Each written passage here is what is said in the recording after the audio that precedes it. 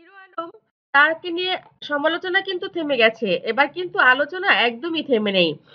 ভোটের মাঠে পরাজিত হলেও সত্যিকারের হিরোই বনে গেলেন সামাজিক যোগাযোগ মাধ্যমে ব্যাপক আলোচিত আশরাফুল হোসেন হিরো আলম। আলোচনা থামছেই না। হিরো আলম অনেকের মাথা ব্যথা হলেও কিছু ব্যর্থ রাজনৈতিক নেতারা অন্তত শিক্ষা পাচ্ছেন।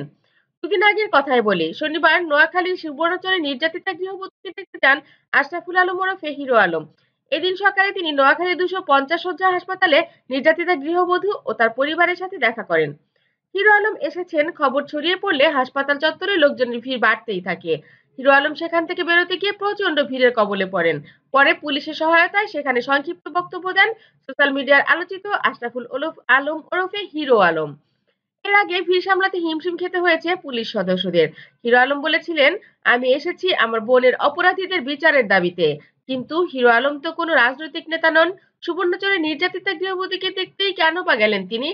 কি ইঙ্গিত করলেন হিরো আলম? তবে সে কি সত্যি সত্যি রাজনীতির মাঠে নামলেন? ত্রিশ ডিসেম্বর ভোটের দিন বগুড়া চার, কাহালু নন্দীগ্রাম আসনের সিংহপতিকে স্বতন্ত্র প্রার্থী আশরাফুল আলম ওরফে হিরো আলমের উপর হামলার ঘটনা ঘটে। এরপর হামলার অভিযোগ এনে নির্বাচন বর্জনের ঘোষণা দেন তিনি। এরপর থেকে বারবার চমক দেখাচ্ছেন হিরো আলম। হিরো আলম রাজনীতিতে নামলেন, কিন্তু তিনিই কি প্রথম? কত কত স্বঘোষিত হিরো আগে ভাগে কায়েম হয়ে আছেন। এবারেও অনেকে মনোনয়নপত্র কিনে বসে আছেন। ফেসবুকে বা মিডিয়ায় প্লাস্টিক প্লাস্টিক হাসি মাখা ছবি দিচ্ছেন। কোনো কিছু না করার হিরোইজমের তালিকায় হিরো আলম বরং শেষের দিকের লোক। কত কত অযোগ্যতা নিয়ে যারা কেউ সেলিব্রিটি, কেউ বিখ্যাত সাংবাদিক, কেউ ক্ষমতাশালী রাজনীতিবিদ হয়ে আছেন, তাদের বেলা তো সবাই চুপ। কেউ টাকা আছে বলে নেতা সেজেছেন, কেউ বিখ্যাত, কারও পুত্র বা কন্যা বলে গণমাধ্যম মাতাচ্ছেন। কেউ বা এমনি এমনি ভাব ধরে আছেন ক্ষমতার আশ্রয়ে। কই? তাদের তো কেউ প্রশ্ন করে না যে আপনার কি যোগ্যতা? টাকা, পরিবার বা ক্ষমতা পেছনে আছে বলে তারা পাস। আর হিরো আলম? ফেল। হিরো আলম প্রচলিত অর্থে গুণবান ও বৃত্তবান, না হয়েও নিজেকে তুলে ধরতে পেরেছেন। এদিক থেকে নাম করা অনেক পরিবারের পুত্রকন্যাদের চেয়ে তিনি গুণধর বইকি রাজনীতির মঞ্চে হিরো আলমই নায়ক। মিডিয়ার তুলে আনা হিরো আলম হয়ে যান সিরিয়াস ও গম্ভীর লোক। হিরো আলমের এই উত্থান বাংলাদেশের নিম্নবর্গীয় তরুণদের উঠে আসার গল্পের সঙ্গে মেলে।